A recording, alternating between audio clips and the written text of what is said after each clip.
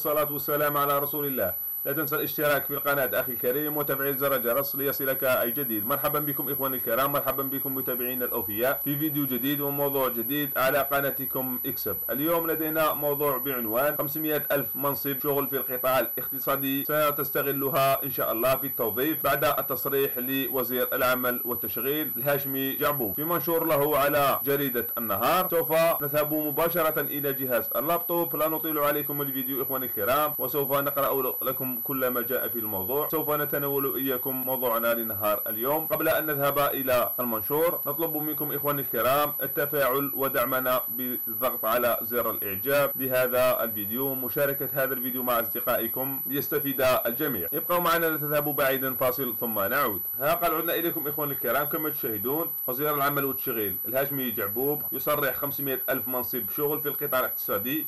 سوف نستغلها في التوظيف. وأسفل المنشور إخواني الكرام قال إن نسبة ترسيم العمال المتعاقدين بلغت صفر بالمئة خلال 2020 وقال سوف أوجه تعليمات بترسيم المتعاقدين في مناصبهم ومن غير المعقول أن يتم تعويض المريض ب 200 دينار عن أشعة كلفتها 2000 دينار. كشف وزير العمل والتشغيل والضمان الاجتماعي عن أرقام صادمة وفاضحة شملت ملف ترسيم العمال المتعاقدين من طرف مسؤولين سابقين حيث قال أن نسبة الترسيم منذ بداية السنة الجارية بلغت صفر من المئة وهو ما يعد صراحة ضربا لتعليمات الحكومة عرض الحائط. وقال أيضا الهاشمي جعبوط المسؤول الأول عن قطاع العمل خلال جلسة الاستماع التي خصصت له من طرف أعضاء اللجنة المالية والميزانية في المجلس الشعبي الوطني إلا أن نسبة ترسيم العمال المتعاقدين كانت ضعيفة العام الماضي إذ بلغت 12% أما نسبة 2020 فقد انعدمت كليا لتبلغ 0% مؤكدا. في رده على تدخل أحد أعضاء اللجنة بأنه سيوجه تعليمات من أجل ترسيم المتعاقدين في مناصبهم قبل تعيينهم في مناصب ذات نوعية بموجب اتفاقية يتم بين العامل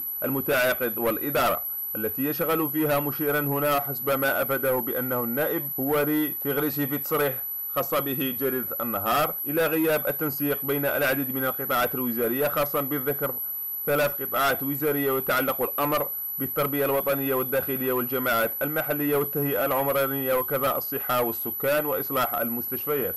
وشدد الوزير جعبوب على ضرورة التوجه في القطاع الاقتصادي مستقبلا الذي يوفر 500 ألف منصب شغل وهو رقم على دون التمكن من استغلالها بسبب البيروقراطية الممارسة هناك في الإدارات. وبشأن أسعار المعتمدة من طرف الأطباء الخواص وأصحاب مراكز الأشعة الطبية ومقارنتها بتعويضات الصندوق الوطني للضمان الاجتماعي أفاد الوزير بأنها سيتم إعادة النظر فيها من خلال مراجعة اتفاقيات المبرمة بين دائرتي الوزراء والخواص. وقال من غير المعقول أن يتم تعويض 200 دينار على الأشعة أن يتم تعويض 100 دينار على أشعة يدفع عليها المريض 1000 دينار. ولدى تطرقه لملف التقاعد. تعهد وزير العمل والتشغيل والضمان الاجتماعي بإعادة النظر في الطريقة التي يسير بها الصندوق الوطني للتقاعد للتخلص من العجز الذي يعرفه موظفا التقاعد. يشكل لنا مشكلة كبيرة وسوف نعيد النظر في سياسة تسيري حيث دعا هذا النائب هواري تغريسي إلى العمل بنظام التقاعد المسبق ببلوغ 55 سنة و32 سنة خدمة مع تمكين العامل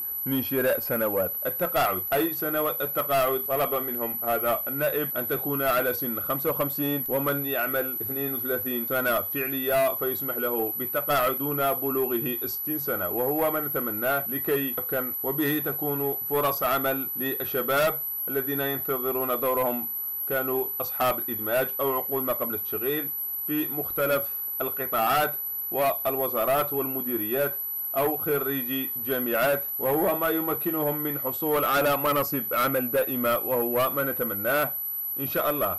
وأي جديد سوف نرفعه على القناة. هنا نأتي إخواني الكرام لننتهي من هذا الفيديو وهذا موضوعي معكم لنهار اليوم. أتمنى مني أني أفدتكم واستفدتم من هذا الفيديو من هذا الشرح. كنت معكم من قناة اكسب لا تنسى دعم هذا المقطع بزر الإعجاب. إخواني أخواتي وشكرا لكم وبارك الله فيكم. في فيديو جديد وموضوع قادم على قناتكم اكسب ما تبقى مني أن أودعكم وأقول لكم طاب يومكم. والسلام عليكم ورحمة الله تعالى وبركاته في موضوع جديد وفيديو قادم إن شاء الله.